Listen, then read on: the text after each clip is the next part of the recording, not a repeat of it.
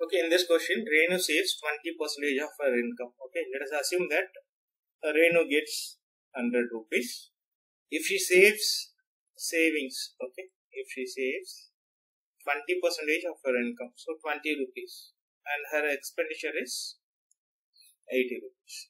Okay, now that the expenditure increases by 20%, therefore 120 into 80 by 100 this is 100 percentage that is the expenditure and this increases by 20 percentage therefore we will multiply 120 percentage of 80 that is 120 into 100 which is 96 rupees.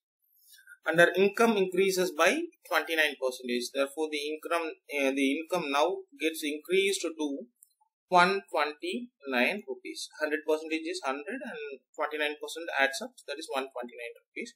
Therefore savings savings equals to income minus expenditure. Income is 129 minus 96 which is equal to 33 rupees. Now the old savings is 20 rupees, the new savings is 33 rupees, the difference is 13 rupees. With respect to the old savings which is 20 into 100 is equals to 65 percentage. The savings have increased to 65 percent.